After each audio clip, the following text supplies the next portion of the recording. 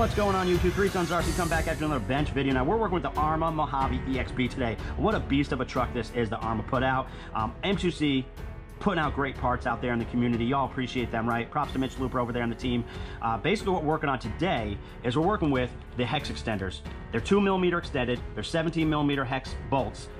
They're gonna work with all the Mojave trucks. Uh, with the first generation of Mojave tires, they were made with a little bit softer plastic, uh, the red ones and the green ones. Now, with the EXB ones, the gray ones, it's a little bit harder plastic, so that does help a little bit. And also, Mojave improved the hex. They actually moved it out one millimeter. The issue was, is that what's happening is they're rubbing, this hex right here is rubbing on the hub with high friction. And, and on high torque, it's actually causing the hex to loosen on the inside and strips all this out. And then what'll happen is tire go flying. This tremendously helps that issue, right? Now, besides these hex extenders today, we're also gonna run through a couple things real quick that you wanna make sure you do on your EXB Mojave before you run it, or really any truck. You wanna make sure you set your droop screws in there. These are ones by M2C Racing. Feel free to check those out. And they basically protect your chassis. I got a video on Three Sons RC if you wanna check that out about what is setting your droop, why it's important, and those types of things. Um, also, got these uh, pillow ball retainers by M2C Racing. Now, these are great. These uh, have like a little bit thicker rim around the top so they don't come loose. Uh, but these work a lot like that in that they use it with a lip that tightens around the edges. Uh, what I really like about this setup is the tool that you can get from M2C Racing that really helps when you're threading those in there because you can apply the pressure and it really helps with cross threading. So definitely suggest a tool if you pick these up. Another thing I'm testing out with M2C Racing is this new EXB ESC plate. Say that 10 times fast, right? Uh, but let's get going on this install, guys, and let me show you why this is important, right? Now, M2C Racing, they've added a two millimeter offset, and I'm gonna go into what that does. And Arrma helped alleviate some of the issue with the one millimeter offset, but a little bit more was necessary because it is still happening a little bit. Um, so what Mitch did is if you look closely, this is two, mil two millimeter offset. Look at the thickness of this nut here and how this is thicker, pushes it further away from the hub, and it's much longer, so you get two sets of screws on there. Let me show you how these work. So basically these go in the back, right?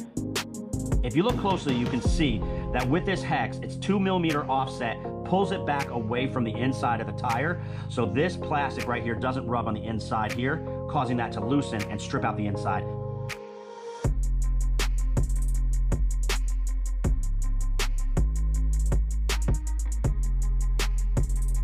With the M2C ones, it comes with two bolts. What you do is you tighten this one down real tight, all right? You're gonna use your tool. I'm just showing you how it goes.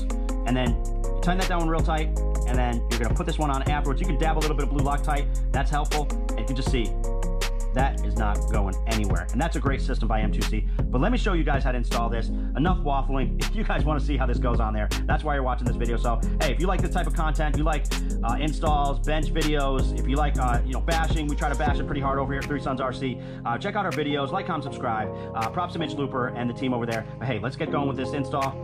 Let's do this, guys. Now, what do you need for this install? You obviously need the hex extenders. Make sure you get four of them. You need a torch, red Loctite, pliers, and obviously your hex tools. Now the first thing we're gonna do is hit up this hex with a lot of heat because you know Arrma loves their red Loctite. It should take about like 10 seconds or so, and if it doesn't work, doesn't break free, you don't feel it giving it all, you wanna go ahead and back off and hit it up again. You don't wanna strip that grub out.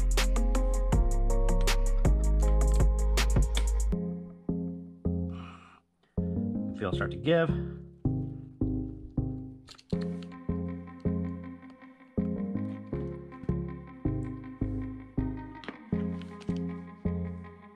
This puppy out. And this is usually pretty hot at this point. Slide that one back on. Make sure to match up those holes. Nice and toasty.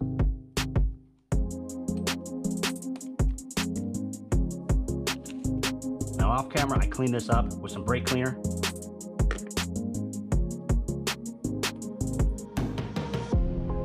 You want to use red.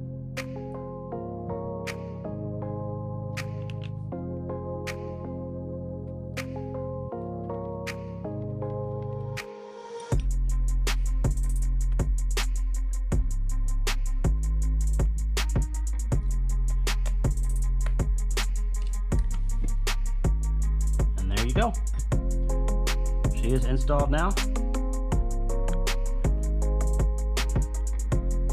Now it is recommended, you're gonna tighten this one down.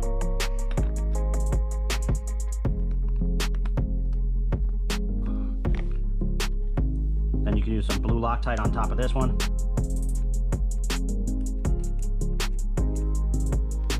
And there she is. Show you the difference real quick between the one millimeter that comes on the new Mojave EXB, that's the one millimeter, and this is the two millimeter offset with the M2C. You can see how it just comes out more and that protects it from rubbing.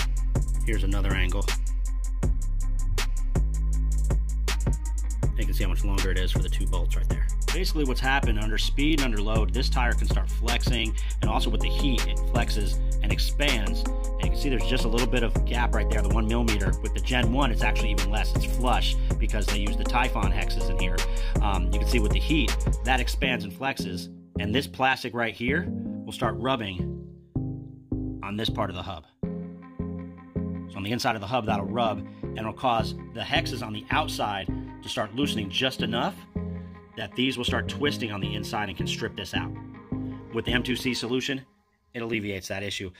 Now, this might be a little bit less of an issue if you're running a stock BLX system, but if you're wanting torque, if you're going after horsepower, if you're bashing hard, these wheels will flex and could cause potential issues. And when you're loading up a lot of torque and heavy system, heavy duty systems in these tires, they'll flex, they'll heat up and expand and can cause some issues. I was talking to Eric, RC Dude 81. He told me that actually, since he moved over to the M2C Racing Hex 2mm extended, he's had not a single one of them come off. So props to Arrma for putting out just an incredible tank vehicle in this EXB Mojave. This is such a great rig, so much strength, and just small little tweaks from M2C Racing just make it even more bulletproof. Now with one Sherlock Hex on there, it might try to loosen up on you, but with a second one on there, you want to dab a little bit of blue Loctite potential on the outside one, that thing is not going anywhere.